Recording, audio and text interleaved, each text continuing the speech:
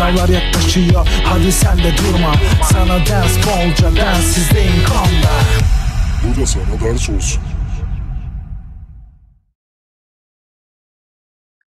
Ders izleyine hoş geldiniz arkadaşlar. Deltoid geliştirici sorular 1 ile birlikteyiz.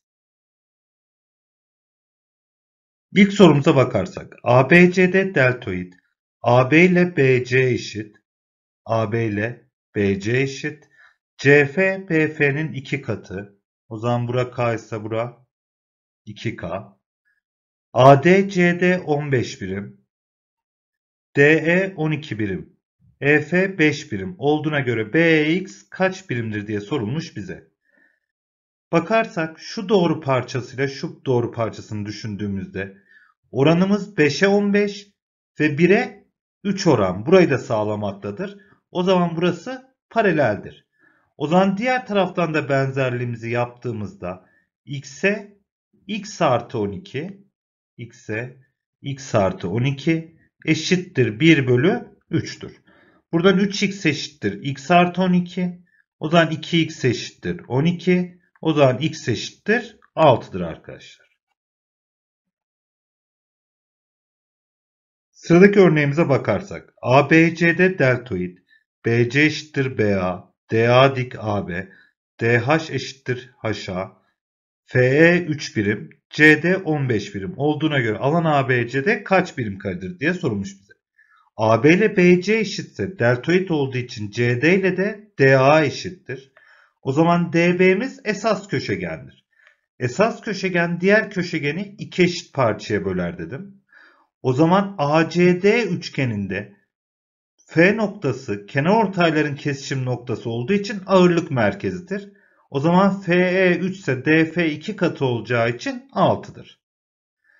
E, köşegenler birbirini dik kesiyordu. O zaman burada bir özel üçgenimiz oluştu. 9, 12, 15. 3, 4, 5'in katları. O zaman aşağısı da 12'dir dedim. Ve aşağıda dikten dik indiği için buraya A deyip bir öklit yapıyorum. 12'nin karesi eşittir 9 çarpı A'dır. 12'nin karesi 144 eşittir 9 çarpı A. Her iki tarafı 9'a bölersek A'mız 16 gelir. O zaman burası da 16'ymış. Bize deltoidin alanını sormuştu. Deltoidde köşegenler dik kesiştiği için alan köşegenlerin çarpımının yarısıydı. Bir köşegenimiz AC'miz 24, diğer köşegenimiz BD'miz 25 bölü 2'dir dedim. 24 ile 2'yi sadeleştirdim. 12, 12 ile 25'i çarparsak 300 gelir arkadaşlar.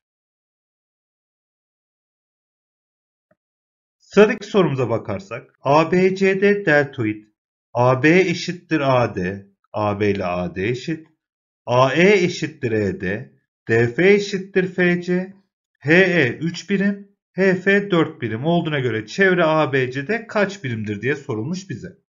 Deltoidde AB ile AD eşitse BC ile de CD eşittir dedim ve köşegenler birbirini dik kesiyor dedim. E bir üçgende dikten kenar ortay çizince muhteşem üçlü oluştuğu için bura 4 ise buralar da 4 4. O zaman BC'miz 8. Aynı şekilde üstte de muhteşem üçlü olduğu için 3 ise 3 3. O zaman AB'miz de 6'dır. E bize çevreyi sorduğu için 2 çarpı 6 artı 8'den çevremiz 28 birim gelir arkadaşlar. Çalışmalarınızda başarılar diliyorum arkadaşlar. Diğer videolarımızda görüşmek üzere.